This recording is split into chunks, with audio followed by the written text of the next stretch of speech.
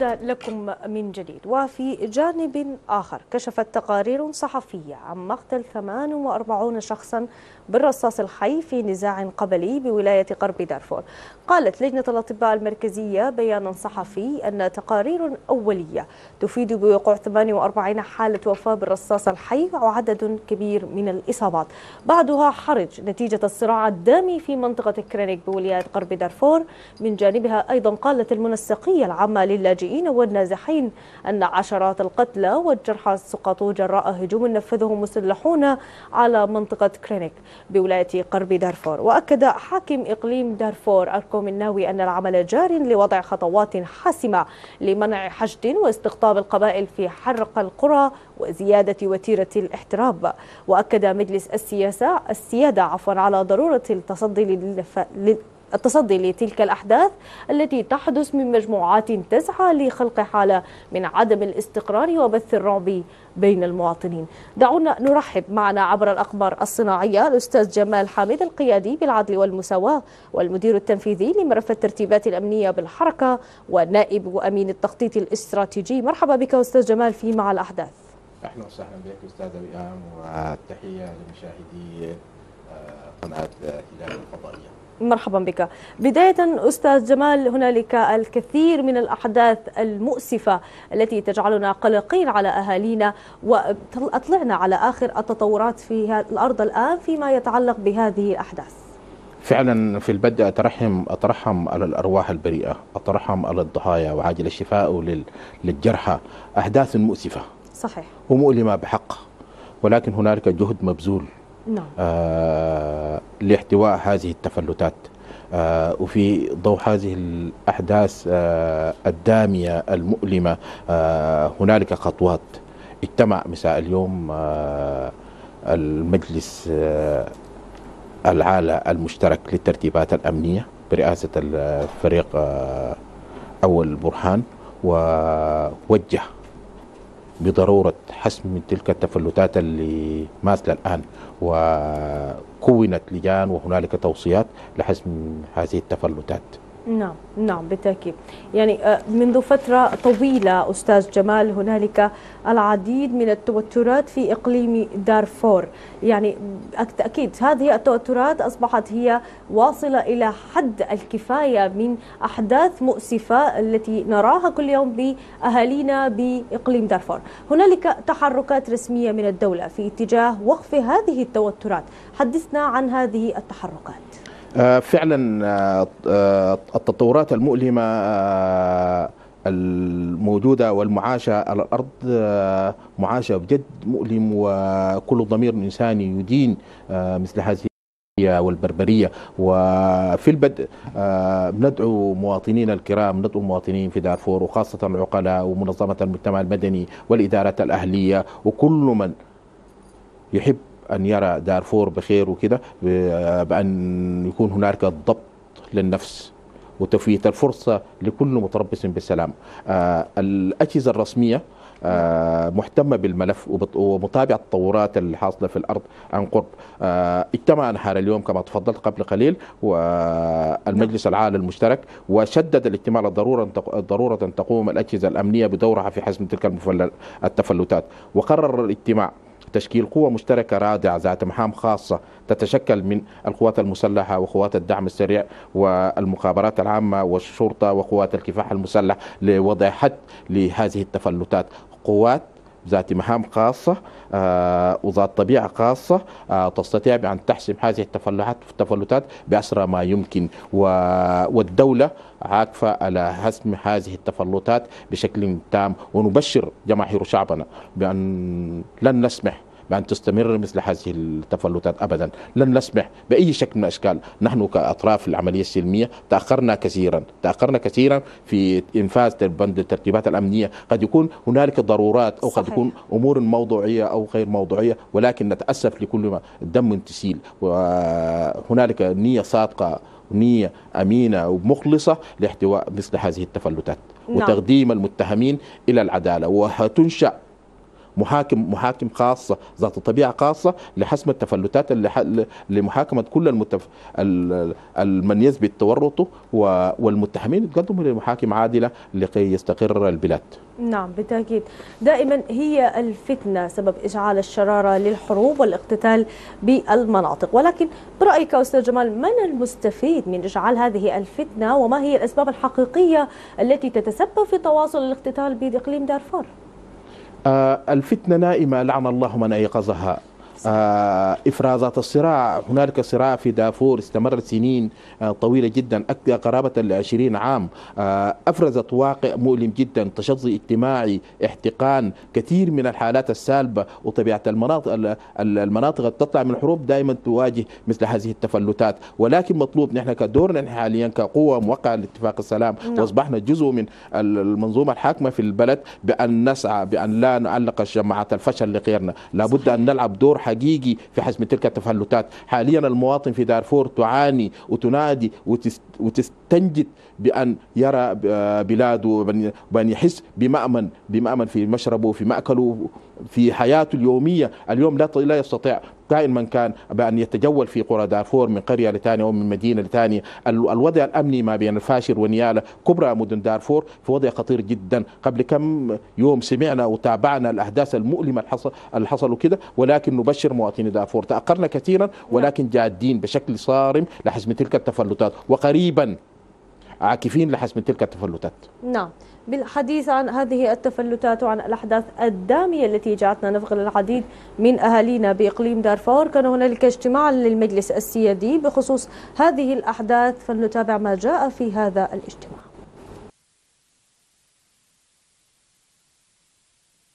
تداول مجلس السيادة الانتقالي اليوم في اجتماعه الدوري الأحداث المؤسفة التي وقعت في بعض المناطق بولايات دارفور وكردفان وأدت إلى سقوط عدد من الضحايا وإتلاف الممتلكات.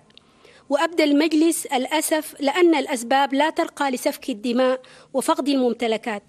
وتطرق المجلس إلى أن التفلتات التي تحدث من مجموعات تسعى لخلق حالة من عدم الاستقرار لبث الرعب بين بين المواطنين لا بد من التصدي لها ووجه المجلس بفرض مزيد من الضوابط والسيطرة الصارمة على الأوضاع بتلك المناطق فرضا لهيبة الدولة وسلطان القانون مع الحد من تدفق السلاح من دول الجوار المأزومة ووقف أنشطة التجارة غير المشروعة.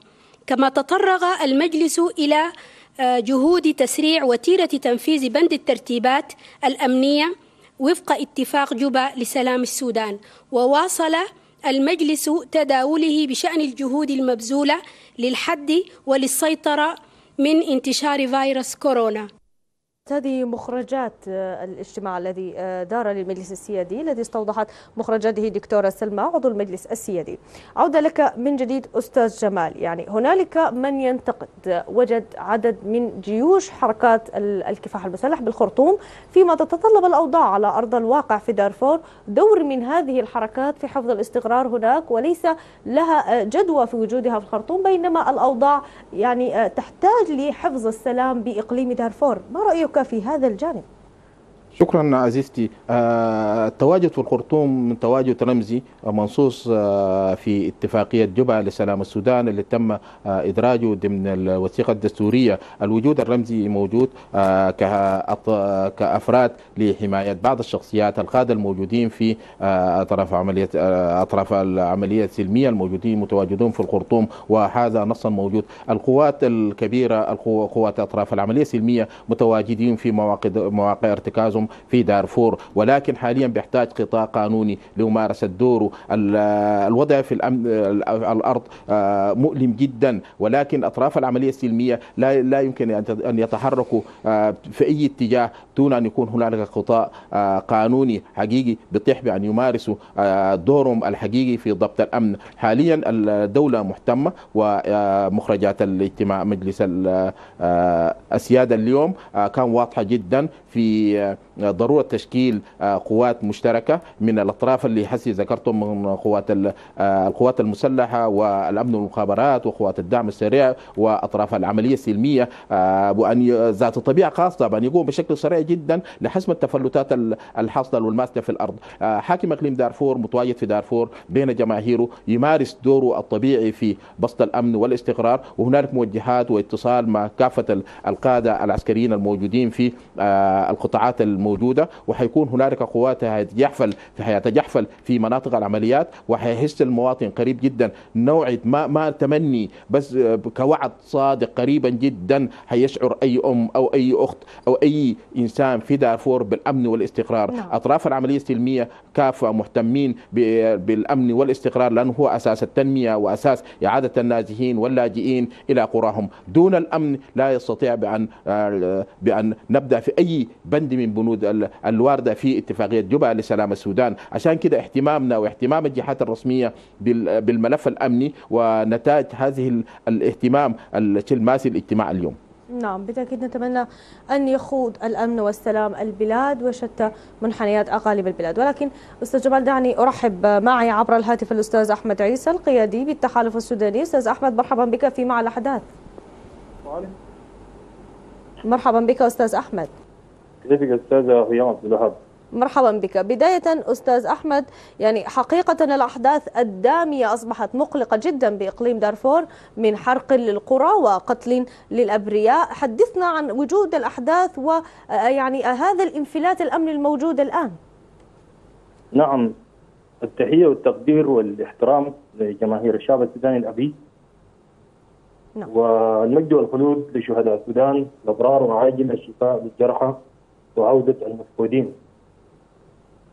في نعم. الآونة الأخيرة بعد توقيع اتفاقية جوبا لسلام السودان كان الجميع متوقع أن تتوقف نزيف الدم في السودان وفي دارفور. وتتحقق أهداف ثورة ديسمبر المجيدة. وتتنزل أهداف اتفاقية السلام على أرض الواقع نسبة للتجارب الطويلة التي عاشها السودان.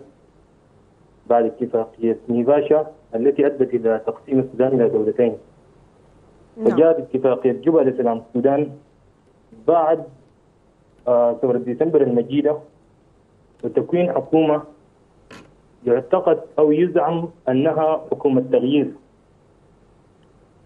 نعم. قلت ذلك التعبير لأن ثلاث سنوات وما زلنا في المربع الأول الصراع بين المدنيين والعسكريين والشارع ما زال محتشد وكأنما نعيش قبل سقوط النظام البائد صحيح.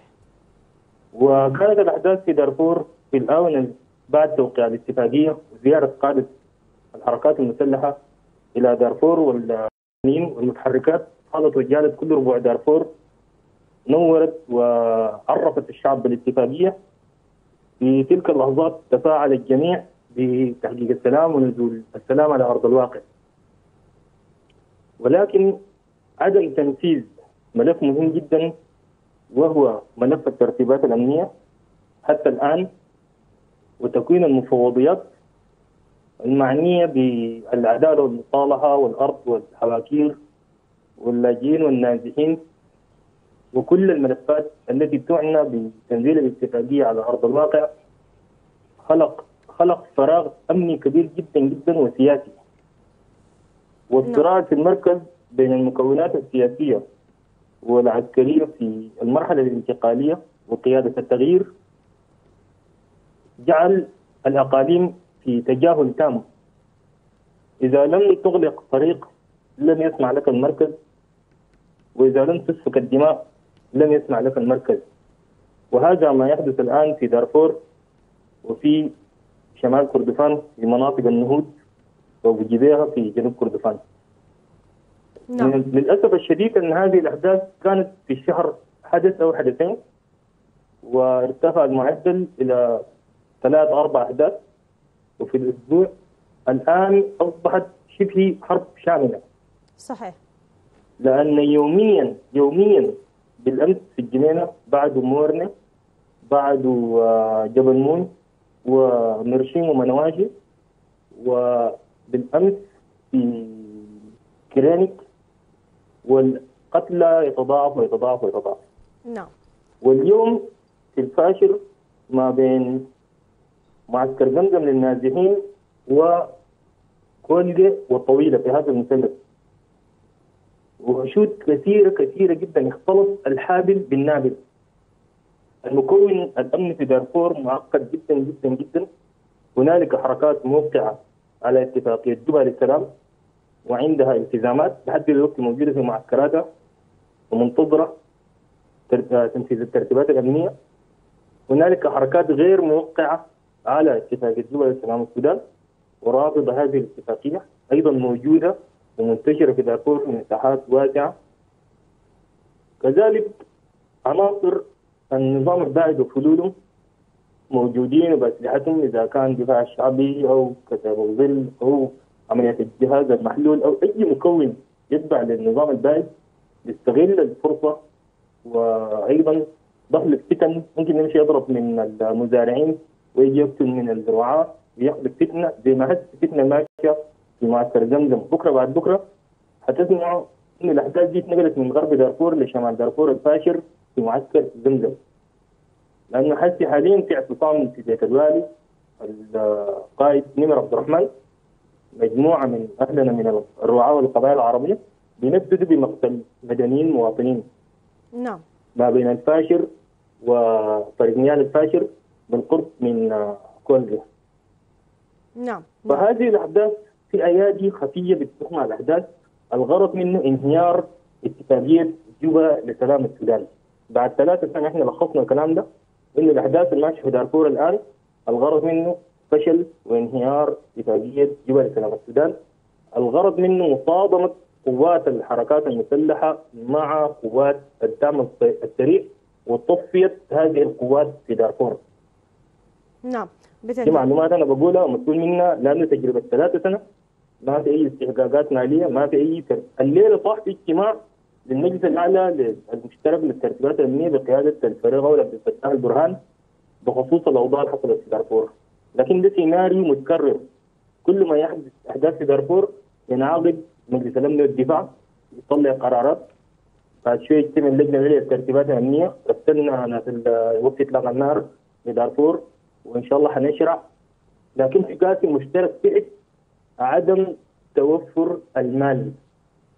قاعدين يقولوا إنه عدم توفر المال لكن ما شفنا أي مؤتمر انعقد دولي أو إقليمي بحيث إنه يقولوا وفرنا مبلغ وقدره للترتيبات الأمنية نعم. الأولية نعم لأن إحنا محتاجين أستاذ. للترتيبات نعم أستاذ تفضل. أحمد عيسى أنت تتحدث عن الترتيبات وعن كثير من المؤتمرات التي عقدت ولم ينفذ أي منها على أرض الواقع لهذه الترتيبات الأمنية وما زالت الأحداث الدموية في تفاقم واستمرار اسمح لي أن أنقل هذا السؤال لأستاذ جمال حامد الموجود معي عبر الأقمار الصناعية أستاذ جمال بما أنك أنت المدير التنفيذي لملف الترتيبات الأمنية بالحركة ما الذي يعطل أن يكون هنالك حلول أساسية على أرض الواقع لإنهاء هذا الصراع الدموي الذي كلما له زاد في تفاقم وزادت الأحداث الدامية وزادت أيضا آه، يعني آه، الراحة الأبرياء التي تضيع في ضمن هذه الأحداث. ما الذي يحدث أستاذ جمال؟ أقول لك التحية مجددا أستاذ وئام. آه نحن في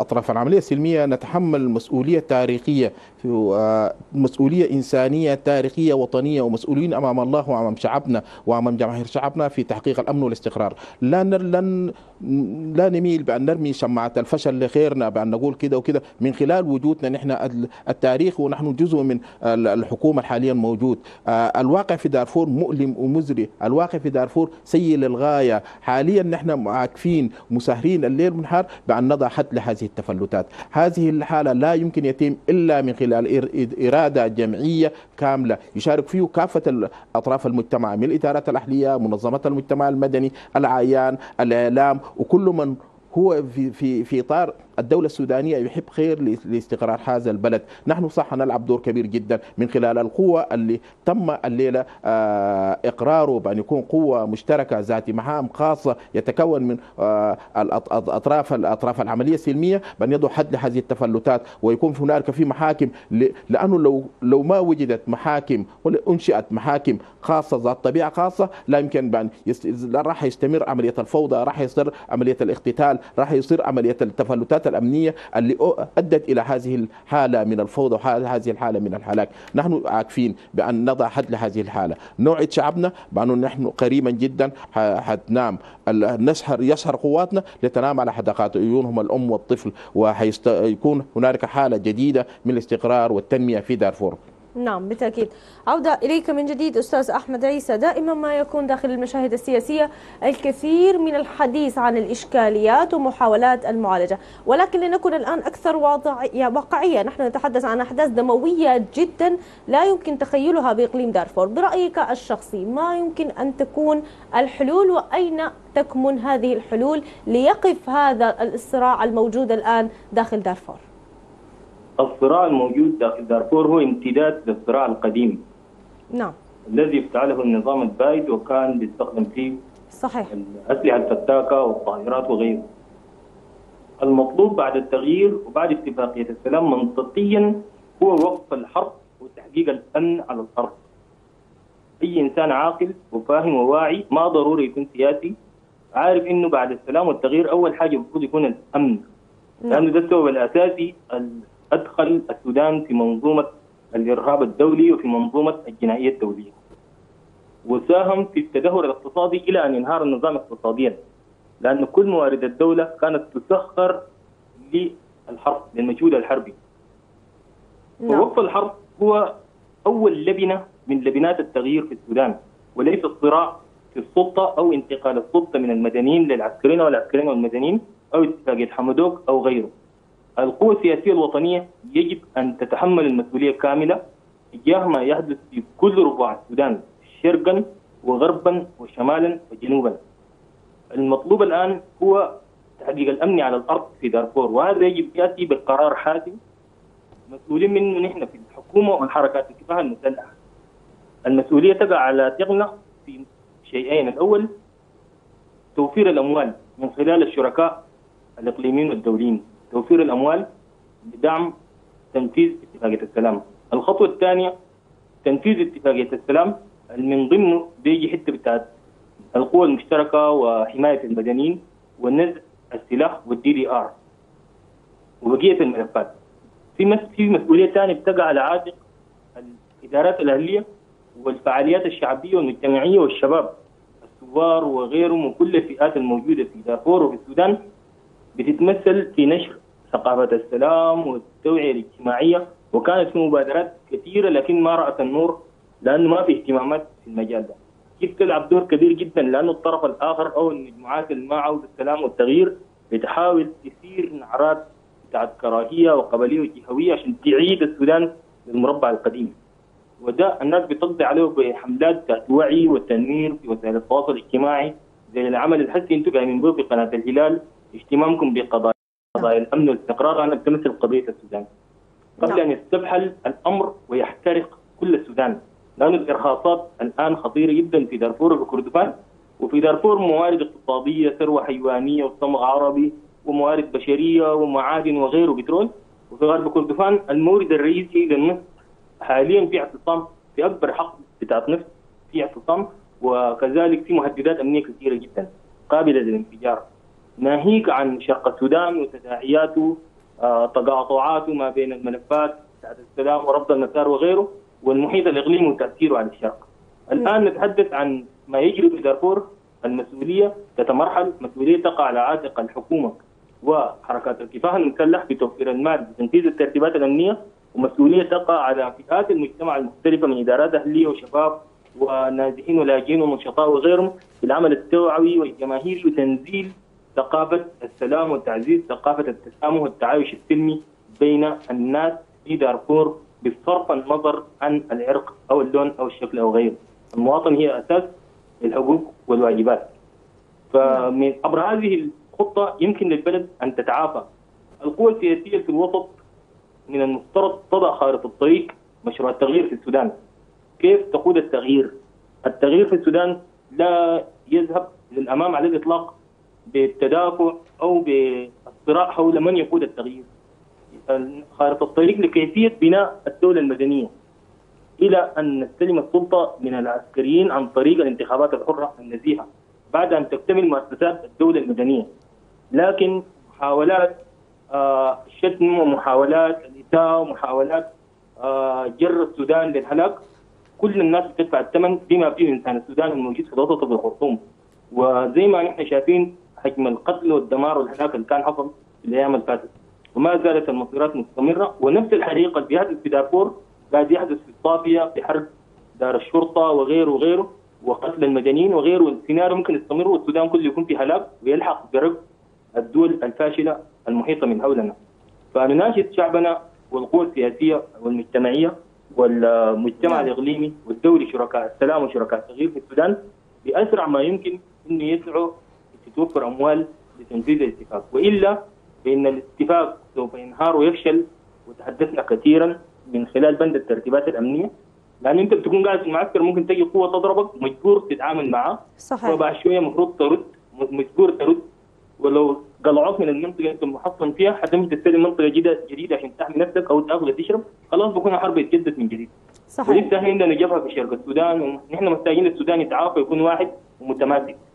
نعم بالتأكيد. الأستاذ أحمد عيسى القيادي بالتحالف السوداني شاكرا لك جدا لوجودك معي في مع الأحداث. عودة إليك من جديد أستاذ جمال و... شكرا لك. عودة لك من جديد أستاذ جمال وبالحديث عن هذه الأحداث الدموية. إذا استمرت هذه الأحداث يعني التي تنفجر بشكل مؤسف على قرار ما نشهده حاليا في قرب دارفور واستباحة الولاية من قبل الميليشيات المسلحة برأيك ما المطلوب من الدولة؟ أولا والحركات والإدارات الأهلية أيضا التي يجب أن يكون لها دور لوقف هذا النزيف. اولا آه، التحية لأخي ورفيق أحمد تغيير. آه، الواقع في دارفور كما أسلفت آه، بتعيش مرحلة مؤلمة جدا وهذه إفرازات واقع مؤلم عشناه. آه، حاليا هنالك جهات عدة تسعى لإعادة الدائرة إلى الوراء. هذه الجهات آه، ممتدة. ولكن علينا بأن أول حاجة نحتوي خطاب الكراهية الموجود. علينا بأن نلعب دور فاعل في كيف نعيد آه، دارفور إلى وضعه الطبيعي.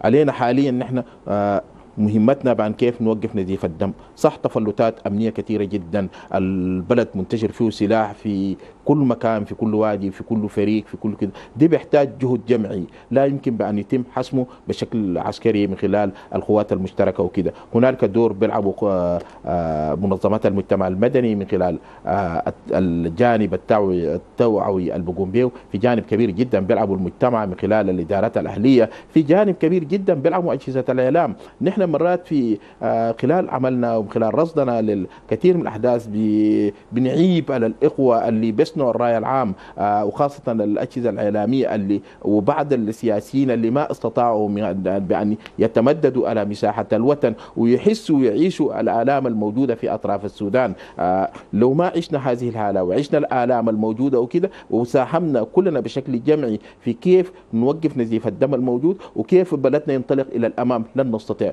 العمل الموجود بيحتاج جهد جمعي كبير جدا يشاركوا فيه كافة أطراف المجتمع لأنه الواقع مؤلم أكثر ما يتصوره العقل ال- السوي. آه، لابد يل- جميعنا نتحمل صح نحن كأطراف عملية سلمية نتحمل مسؤولية تاريخية في حسم هذه التفلتات وليس أمامنا خير النجاح. لا يمكن أمامنا ما في مجال بأن نتراجع. نمضي بعزيمة واقتدار وحاليا الدولة عاكفة الدولة حاليا مهتمة ما لن نبكي على اللبن المسكوب. نشوف الليلة آه، في بداية حقيقية في إنفاذ الترتيبات الأمنية من خلال التوصيات اللي خرج بها الاجتماع تم نهار اليوم. آه، وحصل موجهات واضحة جدا لكافة الجهات المعنية بحفظ الأمن والاستقرار في دارفور. بأجهزته المختلفة بأن يعكف في تكوين قوة مشتركة ذات مهام خاصة وده آه، بداية حقيقية لإعادة دارفور إلى وضعه الطبيعي. ودي ما نتمناه عشان ينطلق التنمية وينطلق الاستقرار ب